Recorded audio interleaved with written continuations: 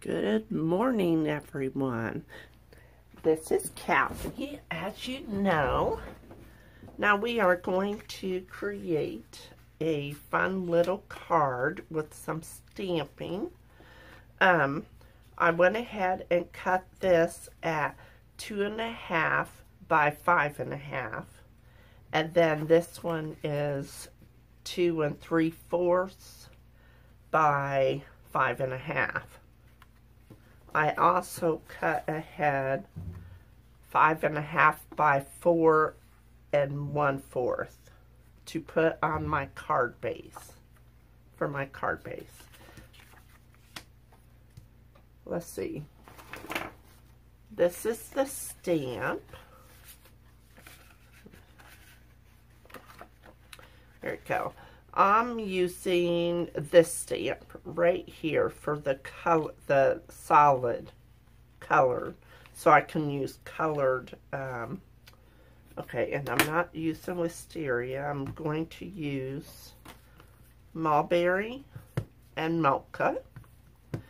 And I also pulled in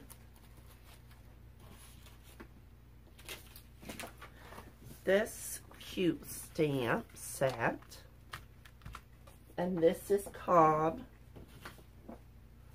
Pokey Pokey. I think I got this uh, not too long ago on sale. And I love it. I've been playing with it. And I, um, I'm going to stamp thanks. Okay, so let's start creating this background piece. If I could find my, um, okay, this is scrap. I want to stamp an image. Okay, I like that.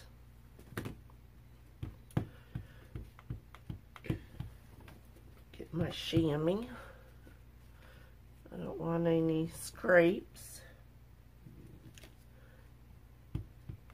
And I'm just going to stamp them, kind of, you know, offset them. and then one more down here. I did get a little stamp overage there. Next, I picked the little center and with that, I am going to off or uh, stamp, to second generation stamp to fill in the centers. Whoops, whoops. I'm forgetting what I'm doing. one more down here. And then there. All right. So that's done. Now let's see. Then I picked uh, this one off of I have all my stamps and stuff on my this is from um Floral Celebration Stamp of the Month of August 2020. And to be able to tell what stamp of the month you get, up here you will have a S for stamp of the month, the year, and then the month. So, 2008. Hope that's clear. Okay. So next thing I'm going to do is stamp these around.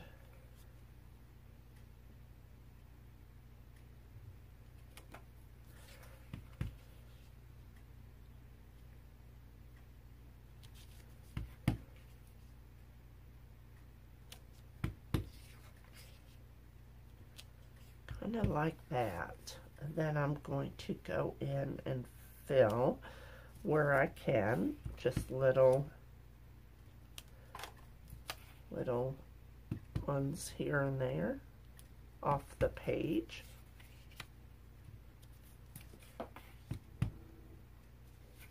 This one needs to go at a different angle. Okay. I like that. Okay, so now all we need to do is assemble our cards. Now, before we add this, I want to add some ribbon. Let's, let's see if we have enough of this. Okay, I'm going to cut it and glue it and then have the rest of that to uh, tie a little bow. So I'm going to snip that and then turn it over and I'm going to put a little bit of glue for the ribbon.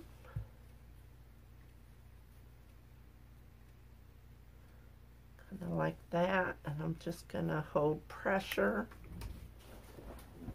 See if you can see me. Okay. I had to stand up and look in my at my video. Okay, I'm going to go ahead and put adhesive on this, plus some wet glue. And I'm going to glue this onto my espresso cardstock. And try to get it straight. Yeah, that looks good. My, um, this isn't straight though.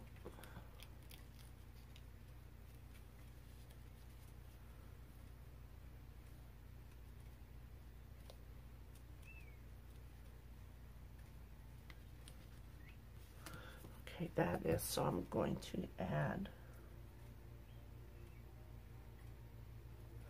Uh-oh, you're going to hear the TV. And I'm almost done. But I hear the TV, so... Okay, now we're you're going to take the extra ribbon and you're going to tie a knot. Just like that, and I tie a double knot, or tie it and then you trim off your ribbon. Kind of like that. Next thing you do is you get out your card base and you get out your mocha ink that's what I'm using.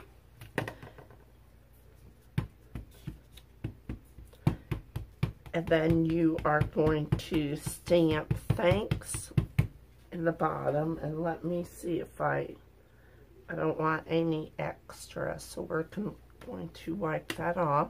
You're going to stick it in the very, very bottom of the right, right bottom corner. Just like that. Okay, almost done. Okay, next you do this together. And then add a little bit of adhesive. Make sure it don't come up.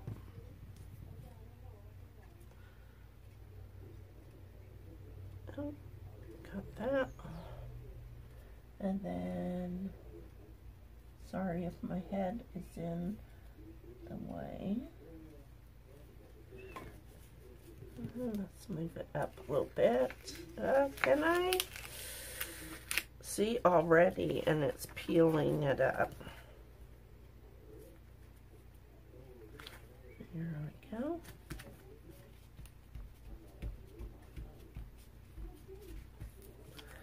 Okay, let's get some gems and add a couple. On here and here Let's see, do I have a card base? Okay, I don't have one on my desk, but you just glue this on the front of your card base. Isn't that cute? I love the stamping. All right, you guys, thank you so much for coming, and uh, check my links listed below. And if you like my channel, please give me a like, and I'll see you next time. Bye-bye.